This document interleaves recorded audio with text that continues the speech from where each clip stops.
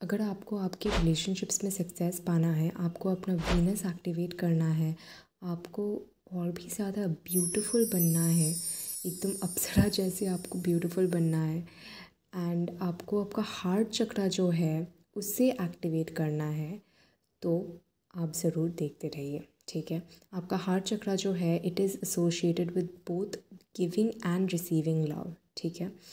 वो आपका सबसे ज़्यादा रिसेप्टिव सेंटर है आपके और में, आपके एनर्जेटिक बॉडी में it is the receptive centre वहाँ वहाँ से ही आप जो आपके ब्लेसिंग्स है उसको रिसीव करते हो, ठीक है? It is the centre of love compassion and emotional balance तो आज ये जो मंत्र है, मैं आपको समझाऊँगी कि उसका मतलब क्या है ब्रेक डाउन करूँगी और तो और आपको ये भी बताऊँगी कि उसको चांट करते अगर आप करते हैं तो आपको क्या कैसे बेनिफिट्स होंगे, ठीक है? तो पहले तो बेनिफिट्स देख लेते हैं। सबसे पहले बेनिफिट तो ये है कि आपके बिकॉज़ आपका हार्ट चक्र ज़्यादा ओपन हो रहा है, आप देखोगे कि you are being able to love people better okay and you are also being able to receive better ठीक है? आपको सपोज़ अगर प्यार में काफ़ी दिक्कत है कि प्यार नहीं मिलता है, इससे नहीं मिलता है, उससे नहीं मिलता है एंड आपको हमेशा ऐसे लगता है कि सब लोग आपको बहुत यू नो आइसोलेट कर देते हैं। कभी आपको आपकी बात नहीं सुनते हैं। Then you can definitely chant this mantra and it will enhance your aura in a way कि आपके आसपास जो लोग भी है वो आपको ज़्यादा नोटिस करें और आपको ज़्यादा यू नो प्यार से रखें। तो आपका सबसे बड़ा जो बेनिफिट होगा इज़ दैट आपको इमोशनल हीलिंग और डीप सोल हीलिंग में बहुत बड़ा हेल्प मिलेगा। आपका स्पिरिचुअल कनेक्शन बहुत ज़्यादा डीपन होगा, ठीक है? बेहतर होगा। आपको सपोज़ जितना भी आपने लाइफ में यू नो धक्के खाए हैं, वहाँ से जितना भी आपको ट्रॉमा हुआ है of course all of that has has left a scar in you right and आपको उन सबको हील करना है। तो this particular mantra will help you heal it. Uh, also forgiveness, understanding and relationships में हारमोनी लाने के लिए इट्स वेरी गुड ठीक है? आपका सेल्फ लव और सेल्फ एक्सेप्टेंस में बहुत बड़ा एक डिफरेंस आपको दिखेगा। ठीक है?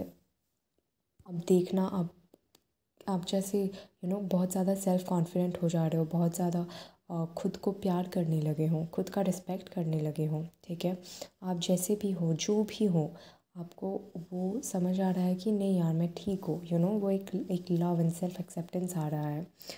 तो ये वाला जो मंत्र है, बहुत ईजी है, एक बीज मंत्र है, ठीक है? आपको इसको बस one thousand eight times every day chant करनी है। अगर वन थाउज़ेंड एट टाइम्स नहीं हो रही है देन आप ऑनलाइन जाके you can just listen to it, but thousand and eight times is necessary, okay?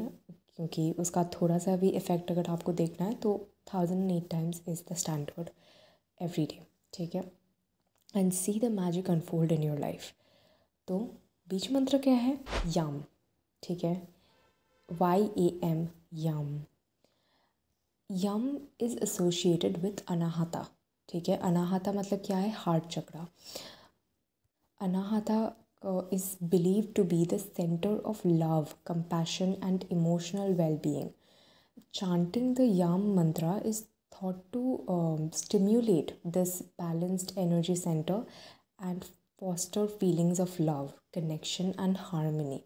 ठीक है याम का जो बीज मंत्र है इसको ऑफ़ कोर्स संस्कृत से लिया गया है और ईच सिलेबल या ईच जो वर्ड है इट होल्ड्स अ सिग्निफिकेंस ठीक है? सिग्निफिकेंस यहाँ स्क्रीन पे दिखा देंगे हम।